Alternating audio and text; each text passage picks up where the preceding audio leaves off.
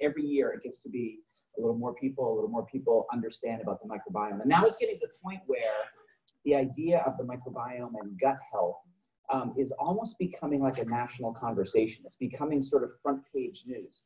Um, I talked about this kind of stuff that I'm going to talk to you guys about tonight in a little more detail on, um, on one of the local uh, television stations this morning. And so I went there, I did my little thing about eating the right kinds of fiber and eating the right kinds of fermented foods and eating the right kinds of phytonutrients and brightly colored fruits and vegetables and things like that. So we did our segment and it was maybe, you know, typical morning TV segment, you know, three or four minutes and got my bullet points in. And I must have stayed there for 30 or 40 minutes afterwards, just answering gut health questions for the, for the crew, you know, because they're, they're really interested in this. So it, it really is becoming, you know, an area that a lot of people are delving into more. Does anyone know why? Does anyone know why we're hearing so much about the microbiome now, whereas we, we, we didn't hear about it hardly at all five years ago? Anyone know why that is? It's not like we just discovered there were bacteria in our guts, right? We've known that for hundreds and hundreds of years. In fact, a hundred years ago, we knew that people who had better microbiomes, people who ate more fermented foods, people who ate yogurt and, and sauerkraut and things like that, um, did better. They, they didn't get as sick as often. They didn't get as many diseases. They, they lived longer. We knew that kind of thing 100 years ago. But we're learning a lot more about it right now. It's not just about, hey, there's bacteria in that. And it's not just about, hey, any old yogurt is gonna, is gonna do, these, do these benefits for you. Well, we know now because of genetic techniques, because we can actually go in and measure not just there are bacteria there, but which bacteria are there. You know, what strains of bacteria there? What are the good guys? What are the bad guys? We know with, with, with very good precision what happens when you eat this fiber, what happens when you eat this Big Mac. You know, we can see what happens to the bacterial profile, and importantly, what compounds they start to produce, which is why I'm going to talk tonight about mental wellness. Um, what we're learning is that the majority of how we feel, our depression, our anxiety, our stress, our ability to focus or not, our ability to remember or not, um, our motivation, our appetite, our cravings, a lot of these things that we view as mental wellness issues aren't really just brain issues, they're gut brain issues. And so much so that we, that we talk about this, the gut, as a second brain. So just, just quick show of hands. A lot of people said they know about the microbiome. How many people have heard of the concept of two brains? That we have two brains in our bodies, right? So maybe, maybe 10% of the hands went up, right? So the other 90% of you are probably sitting there thinking, two brains. I know people who don't have one brain, right? So, so what, what, what we want people to understand is that 90% of the serotonin, your, your neurotransmitter of sort of being happy, 90% of that's made in your gut and has its signaling effects in your brain. 70% of your dopamine is made in your gut. That's the neurotransmitter sort of being motivated. Most of your norepinephrine, which helps with focus. Most of your GABA, which helps with, with relaxation. Those kinds of things are in the gut. So when we talk to people about mental wellness, what we want people to realize is that a lot of how you feel here in your first brain, in your brain in your head, is determined by what happens in your second brain what's happening in your microbiome and your gut. And those two brains need to talk to each other so you can get yourself, no matter where you are on this, which is what I call the mental wellness continuum, no matter where you are on that, you can benefit from this kind of stuff that I'm going to talk about tonight, which is how do I change my microbiome? How do I improve my gut integrity? How do I get the signals that start in the gut how do I get them to emanate to the right places in the body so I have the right signaling effects? Because you can have somebody who's way down here in this sort of you know low end of the mental wellness continuum, and people here quite literally don't know what the next move is, right? They feel uh, they exhibit something that we call sickness behavior, where your neurotransmitters and your biology is, is literally leading you to want to do this, to kind of curl up and not go out, not connect with other people, not look for a solution, and just wait. Right? That's sickness behavior. You're not out there searching for a solution. You're waiting for the solution to find you, or for or for whatever is out of balance in your body to rebalance. And unfortunately, the things that cause us to be out of balance our poor diet, our lack of sleep, our environmental exposure, our stress levels, all those sorts of things, they're not going to change themselves, right? So we have to encourage people who are here to, to, to actively look for those kinds of solutions because we can take you from here to feeling normal again, that's a huge win for that person. Most people are here. They're sort of in this typical zone. It's not, you notice I don't say normal, right? It's not a normal situation for someone to feel tired during the day and restless and tense at night. That's not a normal situation, but it's typical. It's how most people feel these days. And people who are here will end up chalking it up to, well, you know, yikes. Well, you know, I, I, I guess I'm just not eating the right diet. I guess maybe I'm just getting a little older. Maybe I'm uh, you know, maybe I have a lot of stress in my life, maybe my job, maybe my spouse, maybe whatever that's causing stress in my life. And we chalk it up to those sorts of things and say, well, I guess I'm supposed to feel this way. I'm here to tell you you're not supposed to feel that way. You're supposed to be up here in this optimized zone. So we can take people who are here and get them to feel as good as they've ever felt in their entire life. And we can take people who are here in this optimized zone. I was talking to a couple of athletes beforehand if you're if you're let's say you're a nine, right, on a scale of one to ten, you get somebody who's a nine. Where do you think that person wants to be? They want to be a nine point one or a nine point two, or or if you're if you're an athlete, I've done a lot of work in Olympic training centers and places like that. You get a lot of people there who are a 9.9 and they want to be a 10 or they want to be a 13. So they have a sort of an unfair advantage over all of their competition. And you know, if I were if I were giving this same lecture at the Olympic Training Center, I would be telling you the exact same principles that I'm going to tell you throughout the next hour or so, which is we can get you from feeling 9.1 to 9.5 to 9.7 to 13 and to really optimize where you are. We refer to that as something called psychological vigor. And it's the thing that I've been studying for the last 20 years. So here's all the blah, blah, blah about me. Um, I put this up here for two reasons because I'm a, I'm a nutritional biochemist. That's what my PhD is in. So I like to talk a lot about how a particular intervention, a, a dietary change, an exercise change, a supplement regimen, whatever the case may be, how that changes your biochemistry, your cortisol levels, or your neurotransmitters, or your level of inflammation, whatever the biochemical pathway is. But then how that changes your psychology. How does that stress hormone make you feel in terms of your stress resilience? How does a neurotransmitter change your mood? How does a, a, an inflammatory cytokine change your pain levels? Those sorts of things. Um, and I also want to remind you that these slides that I'm using right now are already posted at e either of these two websites. They're, they're, they're definitely at shawntalbott.com right now. And we're also filming this, and we're going to put this up on YouTube afterwards. So that link will also be at shawntalbott.com. So, you know, sometimes people try to take pictures of the slides, and, and you're totally welcome to continue doing that, man.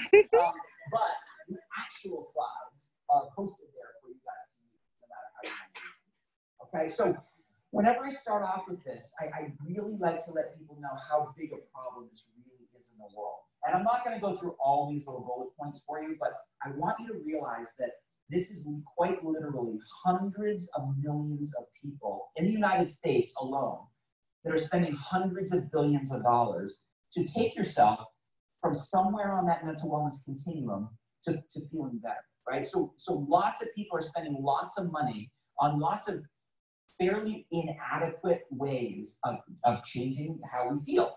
Um, and, and, and there's lots of people who are in that boat. And it's, it's, it's, it's older, it's younger, it's, it's across every socioeconomic class, uh, the World Health Organization calls this, what I'm talking about tonight, the health epidemic of the 21st century. It's a big, big problem in the world. But it's been a big problem for a long time. I've been giving these kinds of lectures for, like I said earlier, 20 years. And sometimes I would put up WHO statistics and I would show the biggest problems around the globe, health problems. And all the standard suspects were always there. Heart disease, and obesity, diabetes, and lung disease, and you know, et cetera, et cetera, cancer. And these issues, but mental wellness issues, depression, anxiety, stress, were always sort of in the top 10 or five. And it, would, it would fluctuate from year to year. One year it would be number four, one year it would be number six. And we would always say to people, based on World Health Organization statistics, the, the, the, the stress category is going to surpass all the others by 2030, right? We had the data. Big problem. It was progressively getting worse year by year by year.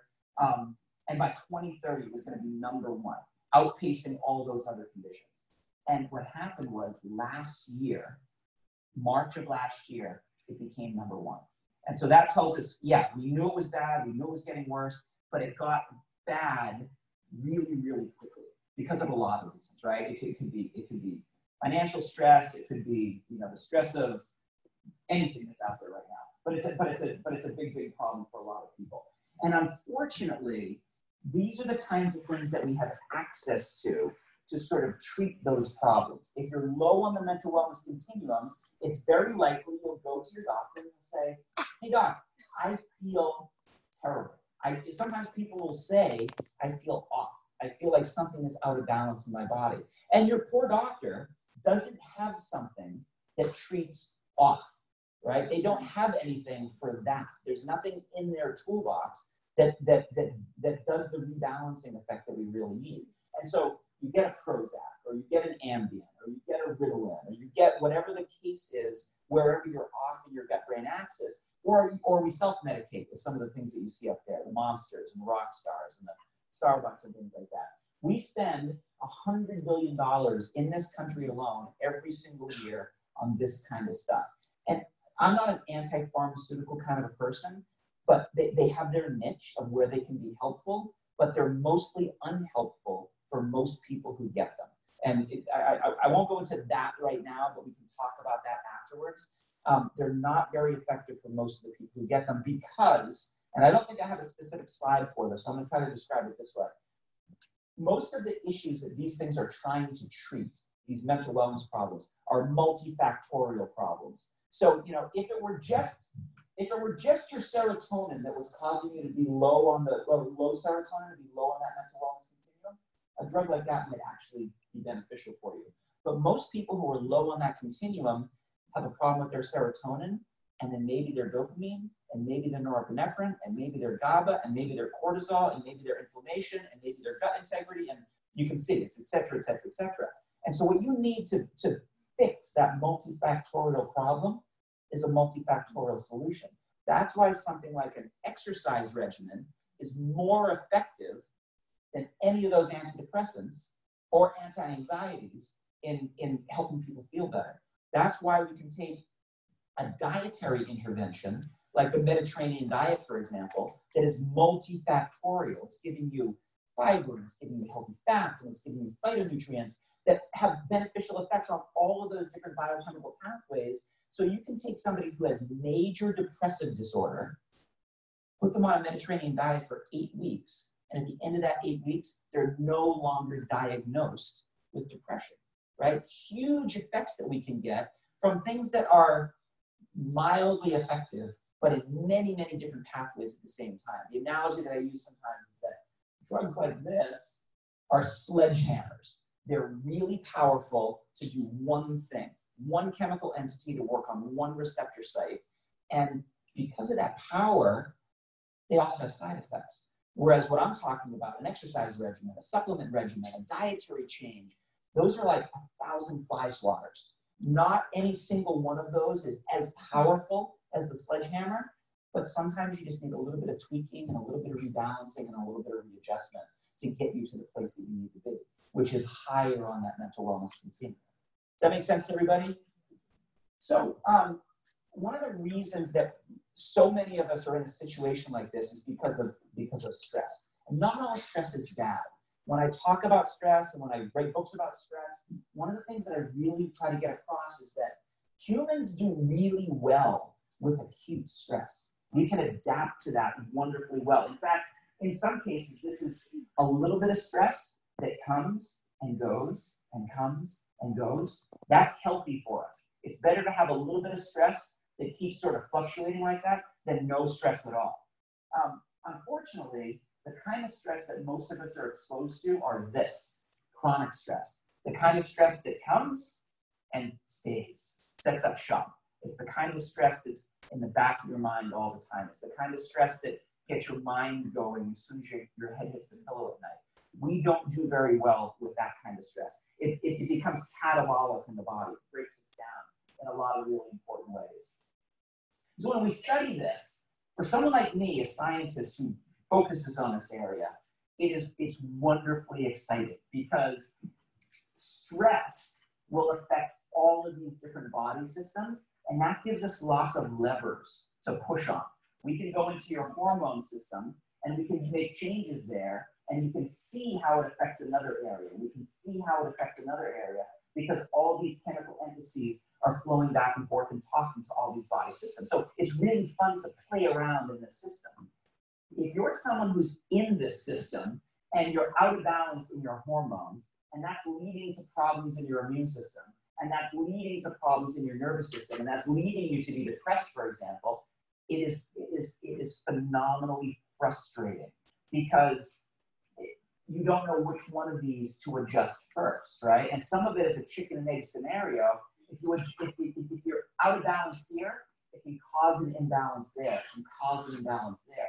But the cool part about it is that if you can restore balance here and maintain it, it will restore balance. It will restore balance. So you can get people out of this sort of downward cycle of worse and worse and worse and get them into a virtuous upward cycle where they're getting better and better and better. And I'm explaining how, how, how we do that, how we measure that in our trials.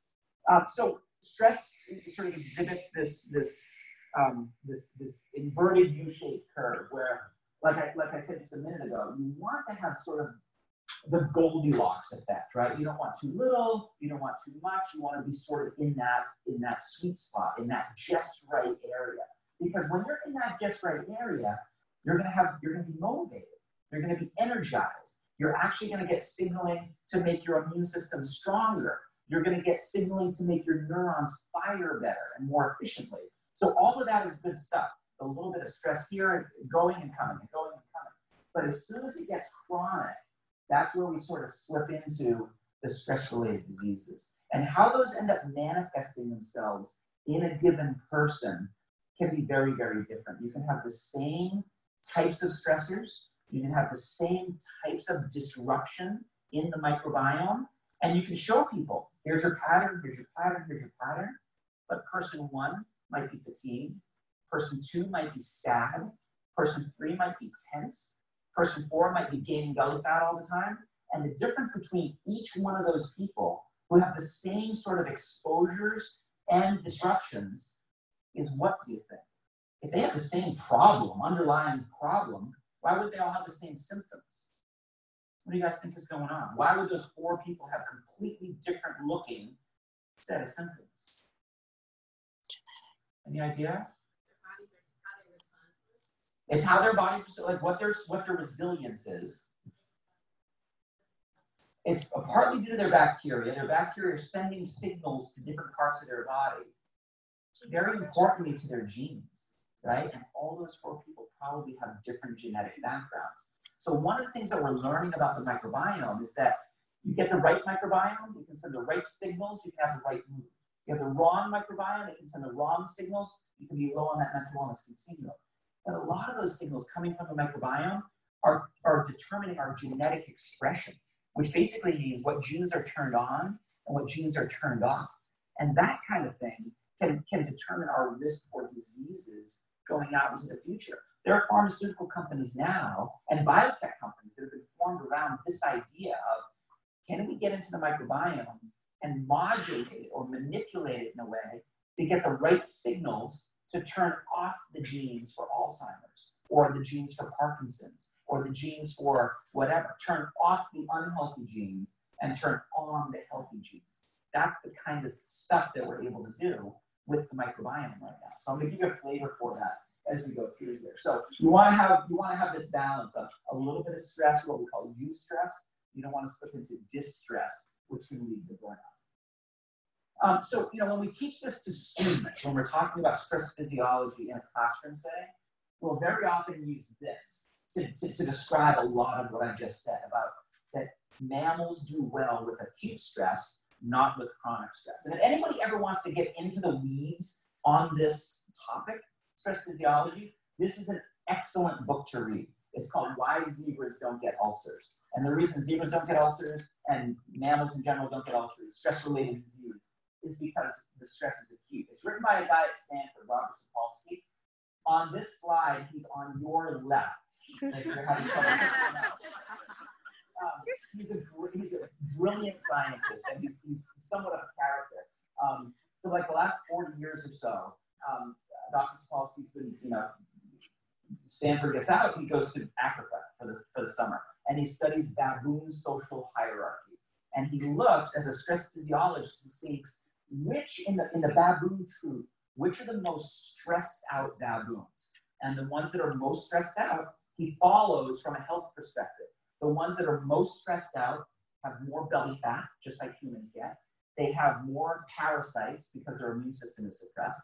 Um, they, they, they, their, their tissue breaks down, they lose muscle mass, like all the same stress related diseases that baboons get when they have social stress. Who do you think would be the most stressed out baboon? You think it'd be the alpha male up there because he's got so much, so much responsibility? No. The second guy, number two. Yeah, it's, and, and people will sometimes, be, no, it's not the top guy, he's got it made, right? It's the bottom people, right? It's not the bottom ones. It's not the bottom baboons. It's the middle baboons. It's the ones who have to keep an eye on everything that's going on, and they're getting yelled at from above all the time, right? They can't catch a break. They're always under stress, either top down or bottom up. And so those are the middle managers. Those are the baboons that have 25 hours worth of stuff to do in a 24-hour day, right? They are they are us, and they have the same kinds of problems. And so, you know, if they had this, if they were a zebra and their only source of stress was the lion, they would have a fight or flight reaction. They would get away 60 seconds later, or if they didn't get away, their stress response is over anyway. So still, um, but that, that's fine. We can do that all day long. Stress response, stress response. Humans don't have that kind of stress, right? These, these, these, two, these two graphics are from a book I wrote 20 years ago to educate people about this, that when our stress comes from work and deadlines and traffic jams and, and, and, and uh, bills and all that kind of stuff, we have the exact same stress response. We don't have the fight or flight response. And it, it continues and very dramatically, uh, rest in peace, stress is killing us because in a lot of ways it really is. This is one of the reasons that I really recommend that people exercise on a daily basis. That's our modern version of the fight or flight response. You're not going to get out of your car on 94 out here in a traffic jam and start doing jumping jacks, right? You're, you're, that would be wonderful for you from a physiological response perspective, but we're not going to do it. That's why exercise is so important to help us use those stress hormones for what they're supposed to be. So if we don't do that, if we're exposed to stress on a regular basis, this is what happens. These are neurons and I'm showing you these because they're, a very visual cell. Um, what I'm showing you is that a normal stress, normal cortisol situation, your cells look amazing. This is like a supermodel of neurons, right? It's, it's absolutely gorgeous. It's got long projection. There are very robust. The one over here, you don't need to be a neurologist to see that it looks sick. It's physically shrunken it, it doesn't have as many projections. The ones that are there might be physically disrupted. So in a brain, this would not work very well. You'd have, you know, the mouse that this was taken out of would be forgetting his keys all the time, right? It'd be one of those bad memory, bad creativity, bad problem solving, bad, bad laying down memories, and bad picking and memories back up. You see that physical destruction. Um, we see it in humans too. We can measure it with MRIs and different kinds of brain scans to show that memory parts of the brain break down faster in response to stress. But this catabolic effect, tissue breaking down faster than it can build back up, that happens in every tissue in the body. It happens in your brain, it happens in your skin, it happens in your muscles, it happens in your bones, it happens in your immune system, it happens in every single tissue except one tissue responds anabolically to chronic stress. Do you guys know what tissue that is? it grows in response to chronic stress. Anyone? Adipose tissue, and oh. specifically visceral fat, belly fat. So much so that we people who study this, we call it stress fat because it's so predominantly driven by a cortisol overexposure. So here's, here's belly fat right here. This is abdominal fat accumulation. Two different people, low stress, low cortisol. And what's what I've done here is colorize the fat in yellow so it's easier to pick out. So just to orient you, this is a this is like a slice at the level of somebody's belly button. Belly button would be up here. Here's the spine. Here's the kidneys. No intra-abdominal fat in this person. The, both of these people have the same overall body fat, eh, around 30%. But this person carries it all right there in the midsection, right, right there in that apple shape. And so this is bad for two reasons. Nobody wants to carry their fat there. That's just not the silhouette that we want.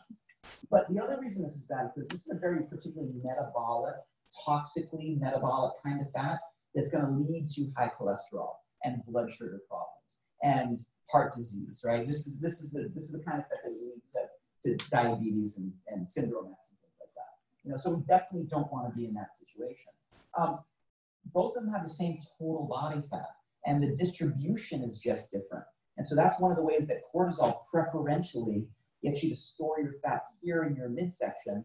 And that's what makes some of these stress related diseases so much worse because of inflammation and because of, because of things that follow from that. So cortisol isn't all bad.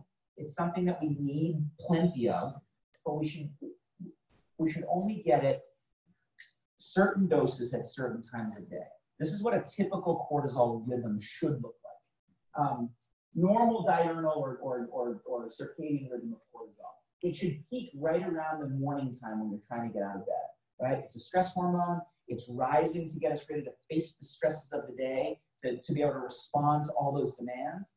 But then it should slowly dissipate through the rest of the day, reaching its lowest point in the middle of the night.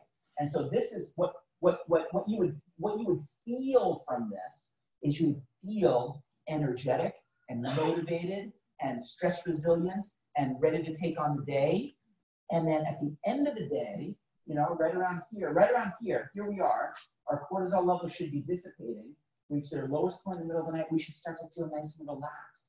As soon as our head hits the pillow, we should just fall asleep and go into deep sleep and have a beautiful eight hours of very restful body recovery sleep and REM recovery sleep for our brains. And I can see people are just laughing right now because that sounds ridiculous. That's not our normal lives. What typically happens? We're fatigued during the day because we don't get a cortisol peak. We feel um, we feel tense and restless at night. We can't recover because this is what our day looks like. This is what our kids' day looks like. This is what our days look like, where you know we, our cortisol is up, but then we have an emergency, and then it starts to dissipate, and then we have another emergency, and it starts to dissipate, and you can see how that goes. The difference between the blue line where you're supposed to be and the red line where most of us are, this is your cortisol overexposure. And so this is still also sort of going to be in like the normal range. But when we measure cortisol in our research studies, we'll take multiple measurements from people so that we can get an idea of what their rhythm looks like so we can see what their 24 hour exposure looks like. That, this gap right here, is what leads to your brain breaking down and your belly building up and all those other catabolic effects cortisol. So it's a, so it's a terrible situation to be in. So um, what you also see is that that cortisol will start to block the effects of a lot of the biochemistry that we that we actually want. It'll block neurotransmitters, so your serotonin and your norepinephrine and your dopamine can't get to where they need to get because they can't get by that, that blockade of cortisol. Your metabolic hormones won't be able to work well. So your thyroid gets blocked, so your metabolism drops. Your insulin gets blocked, so your blood sugar fluctuates all the time. Your, when your cortisol is high, it's telling your brain that you're hungry specifically for what? Sugar, junk. The, like when, when, when you're under the most stress and you drive by the golden arches, they look really good when you're under stress. They look so, so good when you're, when you're calm right? That's your cortisol speaking. So there's a lot going on here in terms of what the bio, what the what the biochemistry is doing. But what we sense is those is those uh, those those symptoms, right? All of these are related. Um, so so I, I've done a whole you know hour or 90 minutes on just this idea of uh, PTSD, post traumatic stress disorder, chronic fatigue, fibromyalgia, all being really the same underlying problem and the, and the, and the real sort of deep biochemistry around that. You can find that recorded on my, on my blog site if you want. But look, these are all just different labels of the same underlying problem. Depression, fatigue, fibromyalgia, anxiety, which makes sense that those would be related in certain ways. But then we start looking at irritable bowel syndromes, inflammatory bowel problems, and, and, and metabolic problems like inability to lose weight. Those are all related at their core to the, to the microbiome. So a lot of the kind of work that I do is, is looking at people who have these kinds of problems and trying to drill it back to its to the rootest aspect of biochemistry that we can. You know, so you can look at something, let's take depression just, just for example, but we could go with any of these. That person probably has a neurotransmitter problem. And it might be low serotonin, it might be serotonin that can't get to where it needs to get in terms of the receptor, like I just talked about a minute ago. It could, it could be it could be other neurotransmitters, but you have to ask yourself the question, well, if it's not that, what's underlying the level of the neurotransmitters? Could it be inflammation that's causing some of those blockages, right? In medicine, there's this revelation that's happening now across medicine that wait a minute, the majority of depression might actually be because these people are overinflamed. And if we control the inflammation, the neurotransmitter piece normalizes on its own. But then you can ask yourself the question of what's underlying that inflammation, and it may be immune system dysfunction, because that's what drives your overall level of inflammation anyway. Well, what's underlying the immune system disruption? It could be something that we call leaky gut. Your gut should be a permeable, uh, should be an impermeable membrane, right? It should have really good integrity, just like your blood-brain barrier. It should be the same exact kind of a thing, but sometimes it can become leaky. It can become, it can become permeable. That can lead to these immune system problems. What's driving that leaky gut? Or what's driving that, that, that lack of, of gut integrity.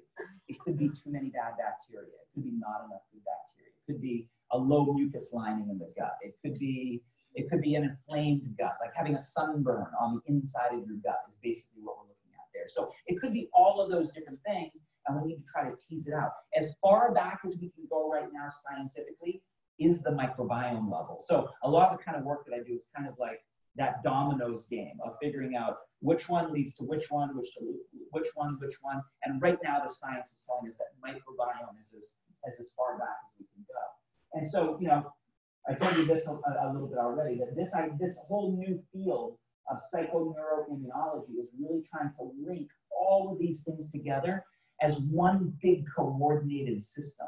Um, I'm, I'm, I'm either old enough or young enough, I don't know how to tell this story, of, of, of having been in graduate school at the time when they used to teach us that these were different things. The, the, the body was the body, and there was physical health, and the mind was the mind, and there was mental health. And they were completely separate things. And now we're trying to break down all that old thinking and really show people that how they're really linked to each other. And you know, traditional medical traditional medical systems, traditional Chinese medicine, Ayurvedic medicine, have always had this construct but because we couldn't measure it, because we couldn't quantify it with scientific techniques, a lot of people would just say, oh, that's hocus pocus. Oh, that's, that's, that, that, that's mysticism. But now we can actually go and we can say, aha, it's because of this neurotransmitter or this stress hormone or this cytokine or this bacterial strain.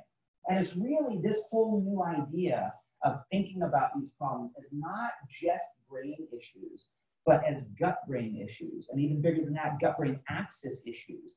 That is completely changing all of science and medicine. It's completely changing how we even think about what, what it means to be a healthy human. So this idea that we started off with of the second brain and the microbiome, um, does anyone know how many, how many cells, how many bacterial cells are in the average microbiome? Anyone know what that number is? It's a big number. Let me, let me give you a frame of reference. In our human bodies, we have about 10 trillion human cells. So do you think the microbiome number is bigger or smaller than 10 trillion? Bigger, 10 times bigger. It's a, about 100 trillion. Right? So think about that. 10 trillion human cells and 100 trillion bacterial cells. That means that what is sitting in your seat right now is 90% bacteria. You're only 10% human. right? I mean, that when you stop to think about that, you're like, some people are like, wow, and other people are like, ew, all that bacteria. And we also like you when when we study this, there's a there's a there's a microbiome, there's a bacterial colony in your gut, there's a colony in your lungs, there's a colony in your mouth, there's a colony on your skin. How many people know the know the Peanuts cartoon? You guys know that Charlie Brown and that the character Pigpen has this cloud around him all the time. We have the exact same invisible cloud of bacteria around us right now. So the seats in here are close enough where if you're somebody, so ma'am, on both sides of you, you're all sharing your bacterial clouds. So left and right are not close enough to share, but you're sharing both of them right now, right? And that's and that's actually a good thing. It's it's one of the, the, the there are there are scientists that are called microbiome ecologists who study like the diversity of the microbiome. Um, some of them have a theory that one of the reasons that humans are social creatures is because we've been driven by the bacteria to have the behavior of being social, of gathering like this, so that the bacteria can exchange genetic material with the other bacteria, right? So, in, in, you know, in a certain sense, when we go to these microbiome conferences, we joke around about like, do any of us actually have free will? Is it really the bacteria that is just telling us what to do all the time? And there's, and there's, a, there's a little bit of truth to that. Um, and, and, you know, I, I, I, I, I mentioned earlier just briefly the fact that the bacterial genes can determine in large part which of our human genes are turned on and turned off. When we look at the microbiome using a genetic lens, then we're talking about the genes in our body being 99.9% bacterial genes, and those are modulating what's happening in our human genome. So the genes that we're born with don't mean a heck of a lot, to tell you the truth, in terms of our, our propensity to develop a certain disease. Our propensity to develop that disease is, we're, you know, we're, it's like a poker game. You're dealt a certain number of cards, but you can throw a few back and choose different ones. That's your environmental exposure. The throwing cards and choosing other ones is what diet do you choose? What exercise pattern do you choose? What, what, who, who are you sitting in between when you come to one of these things, right? Those are all things that can determine the expression of your genes, and that can determine the, the, the diseases that we face. So you get the idea that it's really changing a lot of how we think. The microbiome, um, you know, this sounds a lot like science fiction to people when they hear it the first time. And I guarantee for the people who hadn't heard of microbiome before, now you're going to go out into the rest of your lives and you're going to see microbiome stories all over the place. Um, if, if mental wellness is one of the one of the key sort of national conversations that we're having, microbiome is the other conversation. And what, what you know what what what I'm trying to do with these kinds of things is bring those two conversations together and say, you know what, they're the same conversation. We just need to link them up and know, let people know that if you get your microbiome right, you're going to get your mood right. If you get your microbiome right, you're going to get your physical health right because of all these different ways. Um, people understand this at sort of a gut level because of the, the, the words we have in our vocabulary. Gut feelings, sick to my stomach, I was gutted by something, like those kinds of things are words and sayings because we've always sort of sensed them. We didn't have the science to measure them and to quantify them until just recently. So those signals will end up going out of your gut to your brain, but they come back. They come from your brain to your gut. And they go through what we call the axis in between. You know, so so it's important that we do things in the gut.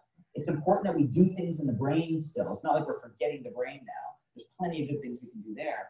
But we also have to do things to make sure that this axis, this, this redundant system of communication between those two brains, we want to make sure that that's as efficient as possible. And there's things we can do in the nervous system in the neurotransmitter um, cascade. You can change hormones, you can change cytokines, which are, which are inflammatory um, um, um compounds. The immune system is like, when's the only time we think about our immune system? When we're sick, yeah. As soon as we get sick, we go, oh, better bump up my immune system or bolster my immune system. We should think of our immune system all the time because in addition to it shielding us from, you know, the environment out there, it also is a very uh, important surveillance organ. It can actually reach down into your microbiome, into your intestine, survey what's happening with your microbiome, and then take that information up to the brain, or take it to your adrenal cells, which are your stress response system, or take it to your thyroid tissue and help determine metabolism. And then while it's there, we'll get information from that outpost and bring it back to the microbiome. So, you know, that as a communication network is this overlapping system that tells us that that in and of itself, that these signals are going back and forth between all these different pathways, tells us, tells us that it's really important for human health for the two brains to be always constantly communicating with each other. And there's ways that we can optimize that. So I want to share a, a couple of like mechanistic experiments, right? This is all nice theory, but how can we actually see if it works? Well, we can we can use we can use mice as a as a way to transmit microbiomes back and forth. And we can see how a microbiome influences a particular a particular uh, disease or condition. So here's an example where you can take genetically identical mice and all you're doing is flip-flopping their microbiomes. Any, anyone know how we do that? Poop. Poop. Yeah, no one likes to talk about poop, but people will sometimes say to me that I'll talk for a little while. Your work is really fascinating. How do you do all that kind of stuff? I'm like, well, to do a cortisol, I have to get some spit from you. To look at your cytokines, I have to get some blood. Um, to look at uh, uh, some of the inflammatory markers, uh, we'll, we'll, take some urine. Uh, and to get your microbiome, I need a poop sample, right? So after I get to the poop sample, people are like, never mind, it's not as interesting as I thought um, but, but, we, but we do that in our trials, and we get a lot of really good information. So in the mice, sometimes you'll, you'll collect, you know, fecal pellets, and you can, mice are, are, are the kinds of animals that eat each other's poop to try to transmit the different microbiomes back and forth to each other. If you do it in a very scientific controlled way, you can take an obese microbiome, put it into a lean mouse, and the lean mouse becomes obese. It goes back the other way too. You can take a lean mouse microbiome, put it into an obese mouse, and the obese mouse will lose weight. So people immediately say, could I sign up for that study, right, to get the lean microbiome?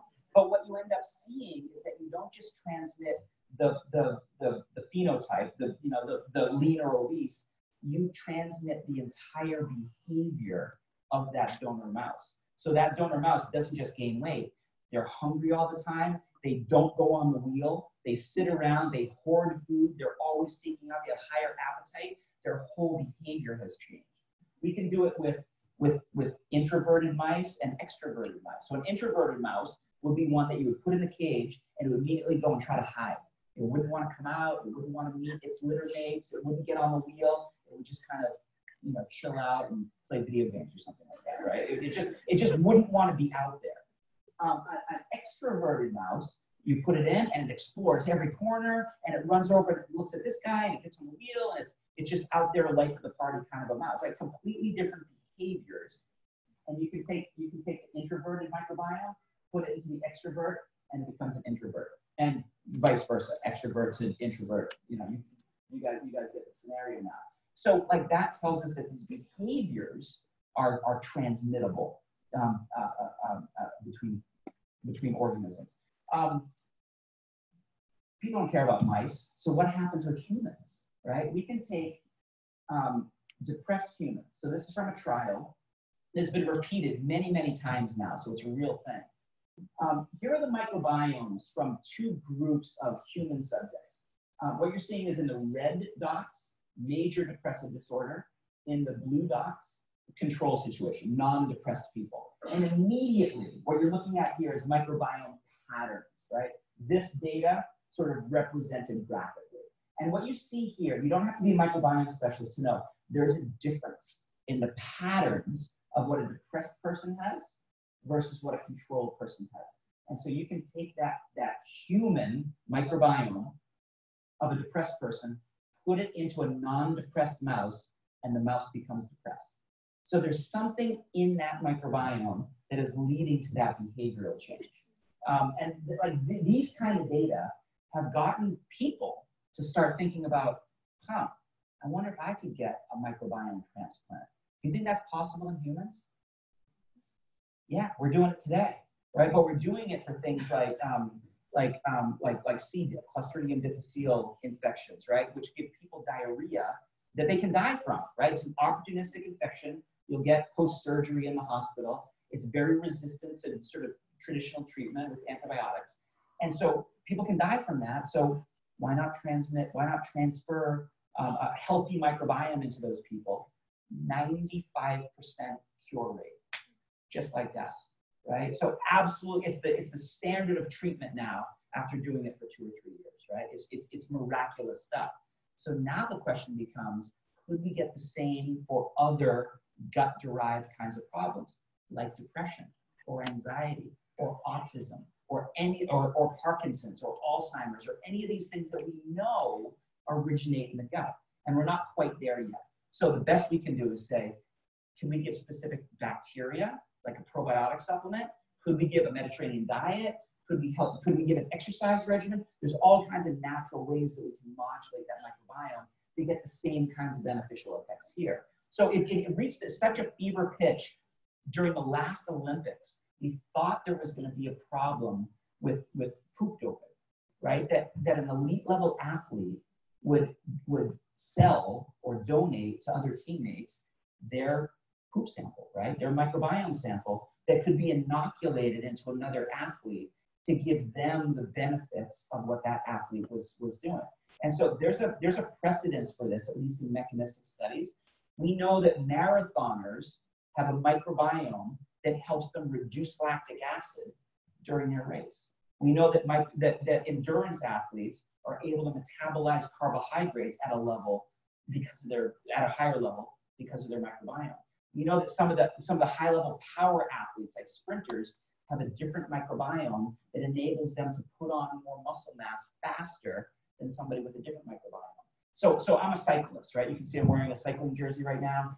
Um, I, have done this kind of stuff for years, and somebody asked me one time. They said, "If you could get a sample of Lance Armstrong's poop, what would you do with it?" And immediately I said, "I would put it in my blender. I would make up a slurry, and I would get a turkey baster, and I would do a microbiome transplant on myself, right? And I was, you know, I was joking around with it, right? And then I thought about it for a second, and he had this look of horror on his face, right? You can go on YouTube and you can see do-it-yourself microbiome transplants, right? Brace yourself if you're going to watch those videos. Um, but I thought about it for a second, and I went, wait a minute. I wouldn't just potentially transmit his endurance benefits, I might transmit his entire behavioral characteristics to my body, to my psychology. And he's, you know, if you know anything about Lance Armstrong, you've read any of the stories, he's pretty aggressive, you know, kind of a not nice guy. Um, so anyway, I wouldn't want to transmit that, but we can't choose. There was a real, I'll, I'll tell one more story and I'll get back to my slides. Um, there was a really famous case of a, of a marathon runner, female marathon runner, not professional or anything, but just, you know, recreationally active, but did lots of marathons. So lean, fast, you know, this is what she did as her hobby. She, got, she had a surgery. She got C. diff. She was, it was resistant to any of the standard treatments. So she got a microbiome transplant from a close enough relative. Um, and over the course of three months, she gained about 30 pounds. Just like that right? She, she didn't want to run. She, she wanted to eat everything in sight. She was putting on weight like crazy. What do you, what do you think the characteristic of that donor was? She was overweight. But at that time, we weren't thinking in those terms. We were thinking she didn't have Clostridium difficile. She did. Let's put the good microbiome in, fix that problem. The other aspects of it were just not at the surface of science. We didn't really consider them. So there are companies now that are microbiome um, uh, uh, donor companies, right? So you can go in and, and, donate blood, and it goes to the blood bank. You can go in and you can donate poop, and it goes into the into the microbiome bank. It's harder to become a donor for your microbiome than it is to get into MIT, right? Because of all of the parameters that you have to pass, the parasites and the right the, the right bacteria and et cetera, et cetera. So so anyway, that was a, that was a big aside that I didn't um, I want to kind of get into like the nitty gritty of how can people use this kind of stuff to benefit you, get out of the theoretical and get a little bit into like how do we actually put this into practice? So some of the some of the areas that I think people are going to be most interested in are these. Um, and, and, and again, just like I've done a deep dive on some of the areas of metabolism, um, I've done a deep dive on these too. So um, I, I, I did a whole session where I talk specifically just about ADD, autism, PANDAS, which are very unique types of uh, gut-brain axis dysfunctions. But they, but they, and they're different conditions, but they share a lot of the same underlying biochemistry that emanates in the that emanates in the gut. Uh, and so, you know, I said a little bit of, of this already that you know it's it's never just one thing that's off. It's usually a constellation of things that, that, that's off. And so we really need to get in with a with a with that um, with that multifactorial mindset of modulating many different things simultaneously because of how they interact with each other. So dopamine plus serotonin is what's driving your appetite. One of the things that's driving your appetite. You can broaden that. And you can look at all these different emotions or mood states or, or things that we can measure psychologically and drill them back to what primary or overlapping neurotransmitter there is. So unfortunately, just like with the antidepressants and anti-anxieties and sleep drugs and things like that that I animated on that previous slide, when we're in the situation of an ADD diagnosis or an autism diagnosis, these are the kinds of things that we have that, that we have access to. And unfortunately, these, just like the, the other things, are not a multifactorial solution for a multifactorial problem. Um, my own son, who's 17 now, and is an honor roll student and is in his student government and does very well at school. When he was in fifth grade, his teachers came to us and in no uncertain terms indicated to us that this kid needed to be medicated, right? And so my question kind of is, well, was he just a fifth grade boy? Um, or did he really have ADHD? And so we went through the whole thing of my wife was very reserved and bit her tongue and said, okay, I think my husband's gonna have something to say about this, and we're gonna try to figure this out. And so instead of doing this approach, which is always gonna be there for you as a secondary option if the natural therapies don't work well enough, we, we ended up putting them on a combination of, uh, of a pine bark extract um, and, a, and a green tea extract, an amino acid called theanine, um, that have really good research on them to lower stress and improve focus. And so we did that for him for a week. It was literally one of these deals where, you know, he, he's not going to swallow the pills as a fifth grader. And you can't really empty them into his orange juice because they're so bitter. So I'm doing one of these deals where you're like, trying to hide it in his smoothie. And he's going, Are you putting something in there? no, no, no, no. Here, drink this. And you put something in there, didn't you? So it was that kind of stuff. But within a week, his teacher came back up to my wife and said, Thank you for taking our advice. Thinking that we did this because he was so much better. And as parents, like we had the total parent placebo response, right? That we were giving him something, we knew we were giving him something, and we were doing this. I think he's better. Do you think he's better? I think he's better. because we want him to be better. Right? You guys understand what, I'm, what I mean by that. And so to have that sort of, you know, unknown third party say, he's better, you know, it was it was like, yes. And so, you know, those are things that that are out there for, you know, in in in um in Japan, they use L-theanine as a first line ADD treatment before you go to these things. In New Zealand, they use pine bark as a first line AD treatment before they go to these things, right? So again, fly swatters before sledgehammers. That's the that's the sort of motif that we try to get people in. And so the, you know the question on those sorts of things is where is it having its effect? Where is the theanine working? Where's the pine bark working? Where's the there's all kind there's glutamine, there's different strains of probiotics. Where are they having their effect? It might be here. It might be here. It might be at the level of the gut lining. It might be with the, with the actual gut microbiome. But the but the, the and, and that can get complicated. And that's maybe where this falls apart sometimes for people is that they're like, I don't know, I don't know which one to start with. Do I start with a neurotransmitter modulator? Do I start with a microbiome modulator? Do I start with an immune system modulator?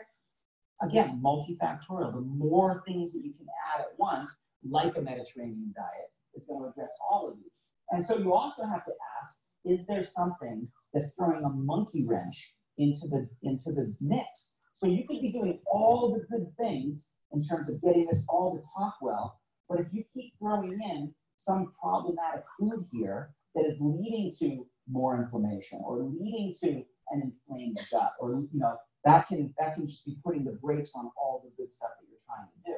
Um, so these are these are some things we might talk about at the end. I'm going to skip over that one. Um, so a big part of what's going on here is, is what we broadly refer to as leaky gut. Um, if your gut lining is not uh, exhibiting this, tight junctions and having very good integrity, things that are in the gut can leak across, things that are in the gut can leak across into the systemic bloodstream. When that happens, when they leak through and they don't get sort of checked at the border, so to speak, they can set off an immune system reaction, which can set off an inflammatory reaction, which can lead to something, let me see if it's on here, that's called endotoxemia. It's not on this particular graphic, but that can put a brake on your ability to lose weight. It can put a brake on your ability to feel good in terms of your neurotransmitters getting where they need. And so for a lot of people, this is the thing that needs to be fixed. And one of the things that can cause the leaky gut is an undiagnosed gluten problem or an undiagnosed casein problem or an undiagnosed problem with dyes in your foods, right? There are all kinds of things that can upset the apple cart of what we're doing. So you have to get in the mentality of remove the offending thing and then start to rebalance it. Because if you try to do the rebalancing in the face of that continual destruction, that continual, you know, poke in the eye, you're, you're, you're, you're never going to get the kinds of benefits that are, that are possible. So I'm, just, I'm, I'm, I'm going to skip through a couple of these different things. Um, let me stop on this one. So let's use autism as a, as a good example. Um, classic textbook dysfunction of the, of the gut-brain axis. Uh, people with autism, whether kids or adults, have microbiome disruptions. They have leaky gut issues. They have food intolerances. They have a lot of stomach aches. They have immune system and systemic inflammation uh, issues and they have behavioral problems and a wide range. They can be severe, they can be mild, they can come and go based on stress levels, based on sleep patterns, based on dietary inputs. And so from mouse studies, because you can get in and manipulate every part of that gut-brain axis, we know, and this has been shown over and over and over if you, change the microbiome, using probiotics in this example, you change the, the composition of the gut microbiome, so you change the structure of what's happening there. That, in, that improves the, the gut integrity, so you reduce leaky gut. It reduces the leakage of those metabolites. It restores metabolism in the bloodstream, and it changes autism-related behavior. So mice, you know, we can't say they have autism, but they have autism-related behaviors. You know, they, they have repetitive behaviors. They have antisocial behaviors. They have, um, you know, all the whole, the whole uh, constellation of things. And so, what if we did this in humans? What if we could take that same scenario and try to impose that into human subjects? So, this study came out this summer, came out in June, this past June. This one came out last week. What they're both looking at is taking different prebiotic fibers. So, fibers that have a specific effect on growing good bacteria. And what they showed in both studies was and they're using different prebiotic fibers. This one used a, a fiber called a, called a GOS, G-O-S, galacto-oligosaccharide. This one used a galactomannan. So different structures of fiber that are feeding different populations of bacteria, and those bacteria now producing different signaling compounds like serotonin and dopamine, short chain fatty acids, and things like that. So who cares? Well, we care because the, the, the people in these trials were given fiber, as a result of that fiber supplementation, their microbiomes changed. As a result of that, they got different signals coming into the into the gut-brain axis. As a result of that, they had fewer, um, they had they had less um, uh, uh, gut, uh, less leaky gut, so better gut integrity.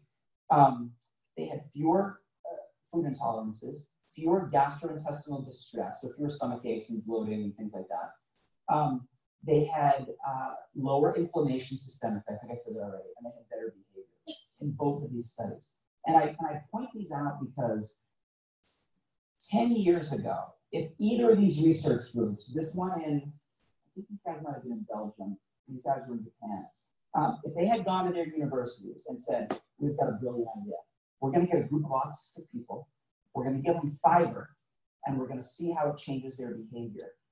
10 years, they would have, somebody just laughed right out loud right here. That's what they would have done. They would have laughed at them and they would have said, that's the most ridiculous thing I've ever heard of before. But because of what we've, we've learned over the last three to five years about the microbiome and about the gut-brain axis, now we can go in and say, this is exactly what we need to do in the first place. Um, so anyway, these, these papers are both open access. So you can, you can, uh, you know, like I said, these slides are up on my website, so you can look at the title of the paper and you can go to the website, you can download it, you can read the whole paper for yourself if you want to. Um, and you know, so the company that I work for, Amare, we're a mental wellness company. We want people to get this information and share this information. So everything that I just said, we make cartoons, we make infographics of it that are downloadable from our website. You can download them, you can email them to people, you can post them on your own social media to really get this idea across to people. Because it's great that you guys are here, but think about all the people who are out there who need to hear this kind of story. This is a, sort of an easy way that you can you can let them know that a healthy gut and a healthy mind and the trillion, 100 trillion bacteria and how to grow the right garden and what strains of bacteria are actually associated with this effect. One of the one of the sort of soapboxes that I get up on, um, and, I'll, and I'll do it if I have time. Let me okay, I'll save it for a second. But let me just say that the benefits of probiotics are completely dependent on the strain. So this, for example, this Lactobacillus helveticus R0052, this specifically helps with depression. There are other helveticus species that help with things like inflammation or immune system function, which are wonderful benefits. But uh, here's, a, here's, a, here's another example. This Lactobacillus rhamnosus R0011 specifically helps with relaxation and anti-stress effects because it improves your, your GABA signal, and that's the neurotransmitter that helps us relax when we're tense. There's another Lactobacillus rhamnosus that I recommend to people all the time. The strain is GG, and I bet you can find it at any grocery store here. GG is really good for helping you with traveler's diarrhea, right? So if you go to, you know, on vacation and you come back and you have a problem, you should go get Lactobacillus rhamnosus GG. It's gonna, it's gonna cure that problem but it's not to do anything for this. Imagine if you heard me talk and you said, oh yeah, Lactobacillus rhamnosus something or other, uh, I need that to help me with my stress, and you go off and you get the one that helps with your diarrhea, and that's not the problem you're trying to treat, right? That's, that's, that's this idea of specificity. Um, that the signals go back and forth both ways. That, that, you know, how do those signals go back and forth? What, you know, what is actually carrying that information? What are some of the things that you can do naturally to improve your microbiome. So on the on the TV segment that I did this morning, that's going to run tomorrow, I had all of these on the table in front of me. We had probiotic sources in terms of fermented foods. We had prebiotic fiber sources in terms of um, beans and oatmeal and green leafy vegetables and things like that. And then we had what we call phytobiotics, things like apples and grapes and and and and um, uh, um, uh, flavonoids from dark chocolate and tea that can help to protect the bacteria once you grow it. If you can eat a diet like this, this is going to naturally bolster that, that vibrant, diverse, resilient garden, the rainforest that we really want to have in here. But probably the one big problem with a, with a standard American diet, you guys know what those initials spell, right? Standard American diet, SAD, right? It's a sad diet that leads us to be sad because it's leading to a very um, what's what's the opposite of diverse? Like what's non-diverse? What's the word that I'm looking for? Homogeneous. Um, maybe anyway, you guys get the idea. Um, it, it, it doesn't have a lot of different species. That is associated with more depression. That's associated with with, with, with more health problems. And so if we can get a more diverse microbiome, that's gonna that's gonna help. And this is this is the way to do it from a dietary perspective. Sleeping the right amount can change your microbiome. Exercising the right amount can change your microbiome. We could analyze three different microbiome patterns, and with reasonable accuracy, I could tell you which one was the elite athlete, which is the weekend warrior, and which is the couch potato, just based on their microbiome patterns, because exercise has a big effect on, on changing what grows there.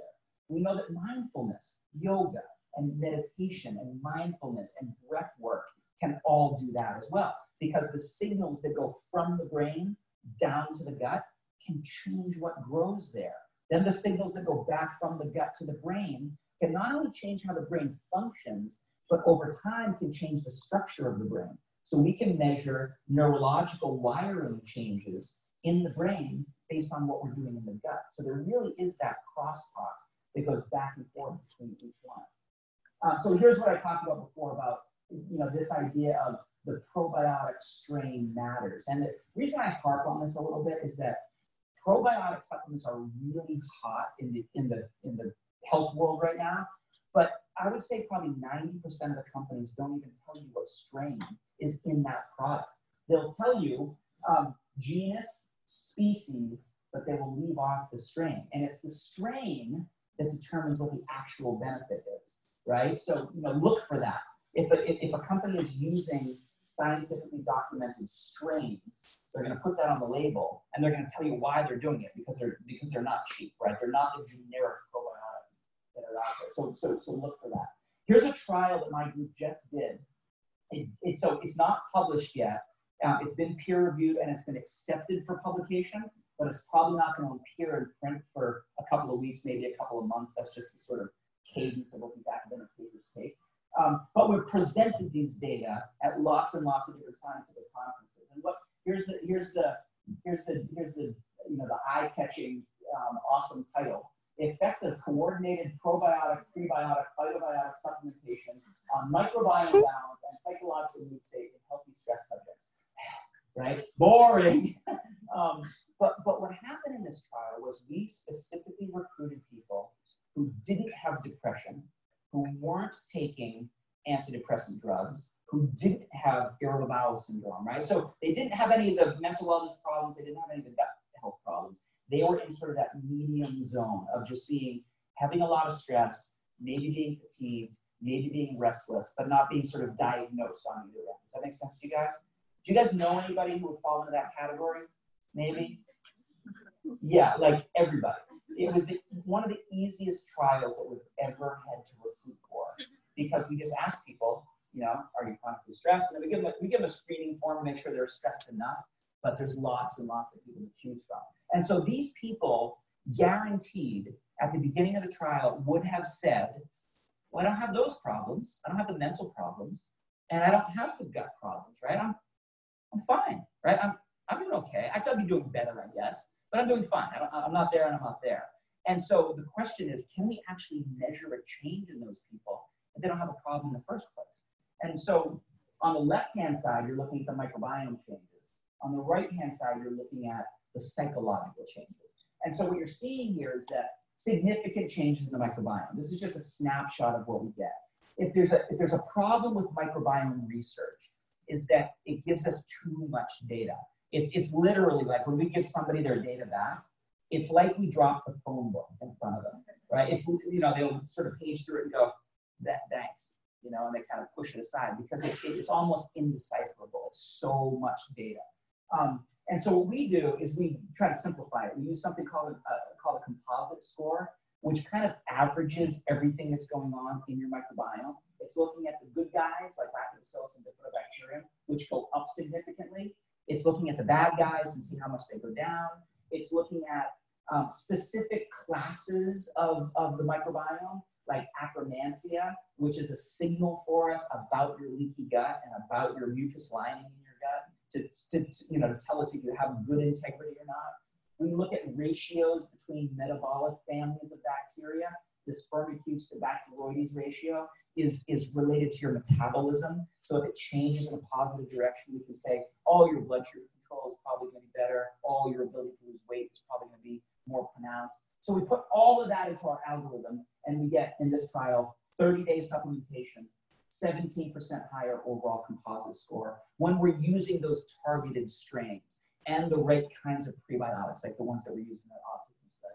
But that's great, right? Microbiome changes, we can show people the numbers, but you know, I, I, I joke with people sometimes and say, not a single person in the trial woke up on, on the last day of the, of the study and went, oh, my bifidobacterium feels really good today, right? Oh, it feels 30% better, right? We can't feel that, but what we feel is that that bifido is better So now it's producing different signaling molecules, like more short chain fatty acids, which are anti inflammatory, like more serotonin, which is going to lift our mood, like dopamine, which is going to increase our motivation.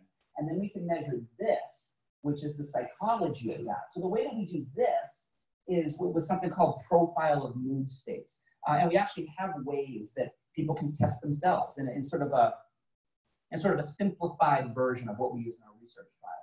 But this enables us to show not just that, that people are feeling better, but how they're feeling better.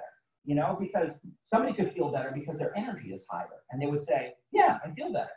But we can we can drill down with, with these what are called sub subscales and see that all the negative mood states are going down significantly. Tension, depression, anger, fatigue, confusion are all down, and then vigor, which in psychology research is the opposite of burnout, that positive mood state is going up significantly. So you can see that these people feel better, but they feel better in a very holistic, very robust way. And that's really, really cool to see. So here's, here's, the, here's the slides that, that, that are in the paper. Um, so placebo group, what you're looking at is three different time points um, over the course of, the, of that supplementation.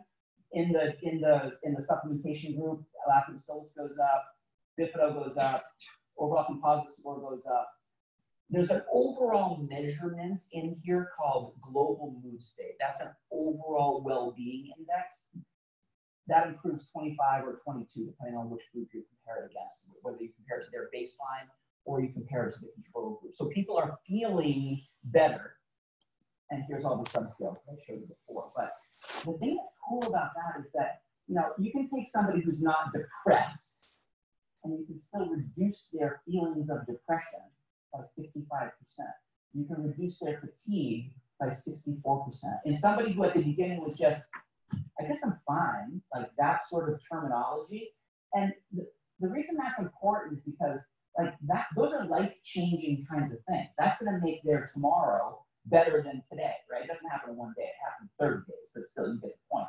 They're gonna do so much better. When we see something like this, vigor, improved by 44%, this, this is kind of my specialty area of research, looking at burned out people and trying to get them back to a state of normal vigor.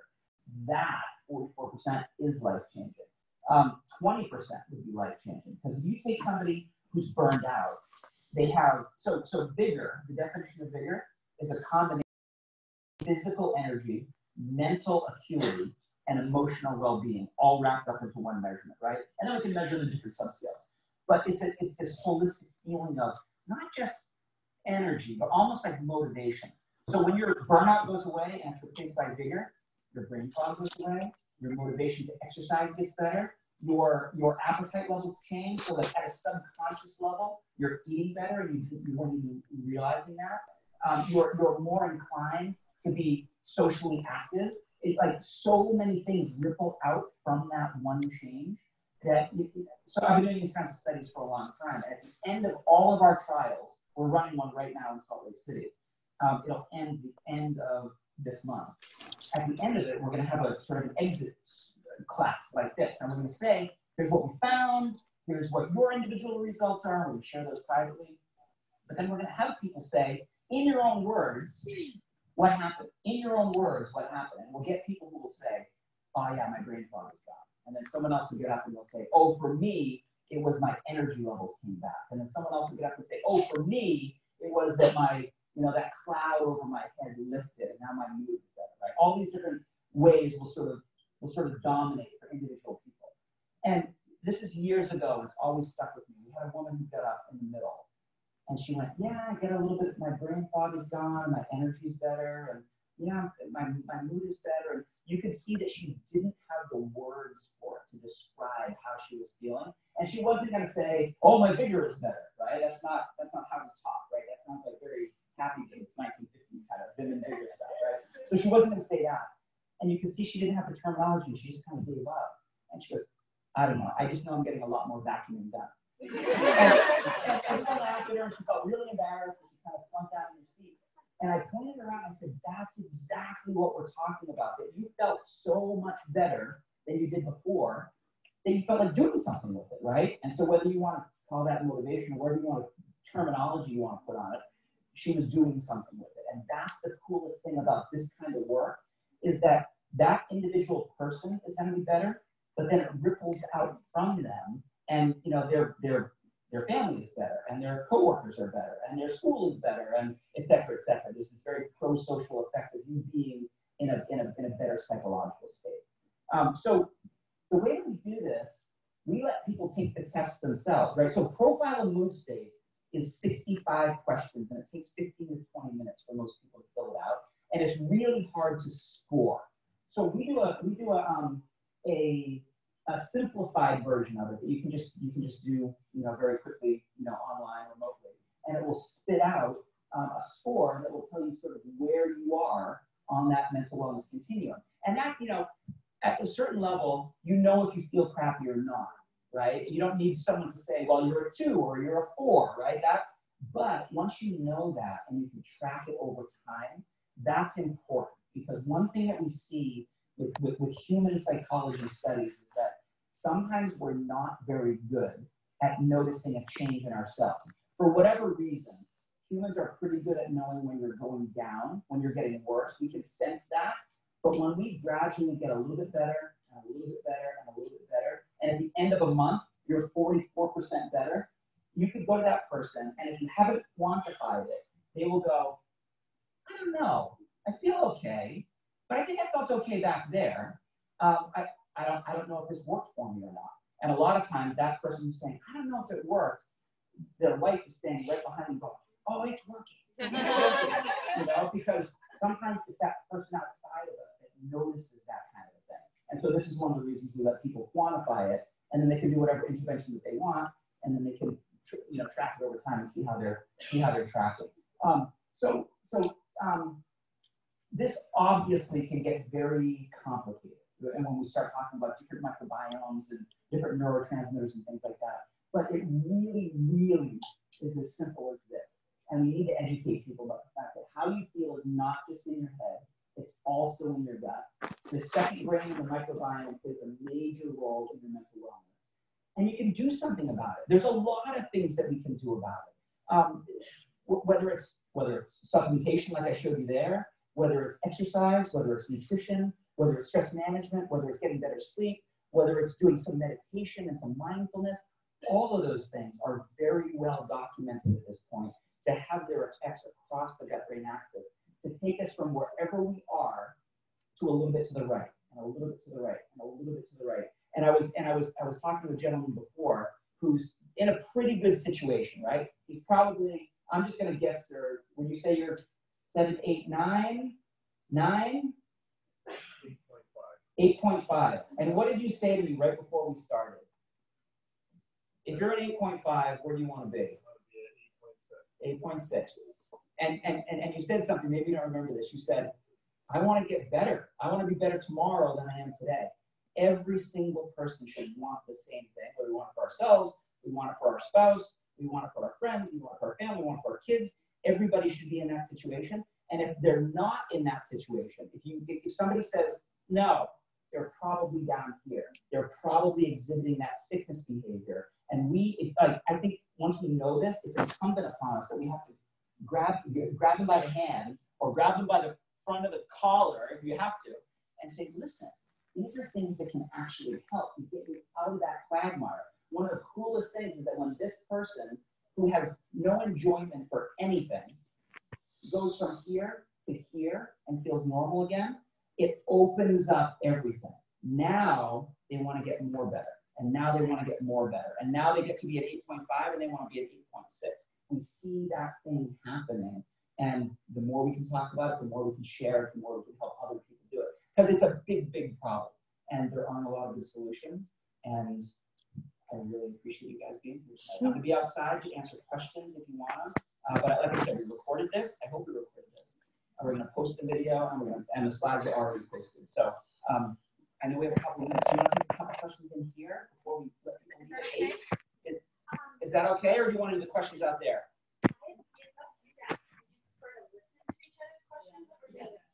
Okay, and so and so just to respect everybody's time, when we hit the top of the hour, if you have to get up and go, get up and go. We won't we won't ask you where you're going. or anything like that. Okay? All right, so, um, go ahead and, yeah, yeah. My first question is, I've done a lot of research. When is the best time of day to take a probiotic? When is the best time of day to take a probiotic? Doesn't really matter. The more important thing is that you get it versus don't get it. But if you're following that idea of strain specificity, let's say that we're that we're interested in one of the one of the mood state um, the probiotics that I put up there, the depression one or the or the or the or the stress one. You'd probably be best served taking that in the morning so you can get the benefits of that during the day, right? There are some the, um, the one that's associated with GABA production. That you could take that in the morning or you could take it at night because GABA production at night is going to help you sleep right? And get into those deep stages of sleep. So there's some of that that can happen. But I just tell people take it first thing in the morning, take it with your breakfast so that you don't forget. A lot of times those evening doses we forget or you know we're someplace else and those sorts of things. So it doesn't really matter. Okay? But look for the strains, strain specificity.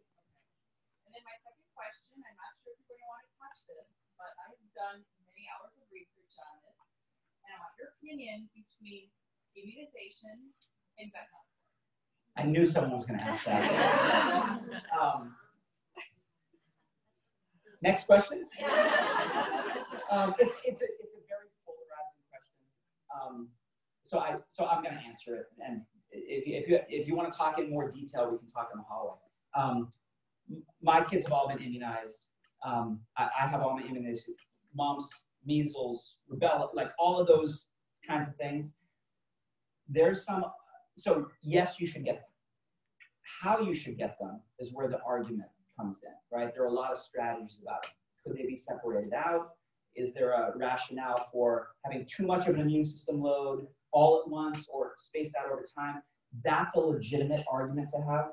The yes or no is not a legitimate argument to have. Um, the one place where I will take an issue with immunizations is um, is like flu vaccines, right? Um, if you don't have to have them, maybe you don't need to take them. I travel to Southeast Asia a lot for the kind of work that I do. So if I'm in a pattern of going to that part of the world where those diseases originate, sometimes I will get immunized. Um, I haven't this year because I'm doing other things for my immune system and, I'm- and I'm not traveling that part of the world. So we could talk for maybe a whole hour about this issue, but okay, sure. Yes. So my daughter she has ADHD, dyslexia, and family runs a little bit of depression as well. What is your recommendation, uh, recommendation to help her a little bit? Because she also has like um, stomach aches and uh, things about school related. It's like to make it hard for her. She's stressed out because of it. Right. Um, so and then also with ADHD, so we're on a trial right now to give her like some ADHD groups, like really low level. Mhm. Teacher said already, you know, it's getting better. Um, but I already try, you know, like you said before, try something else and said, like, Yeah, yeah, we give we give them two supplements. One's called theanine. It's an amino acid that's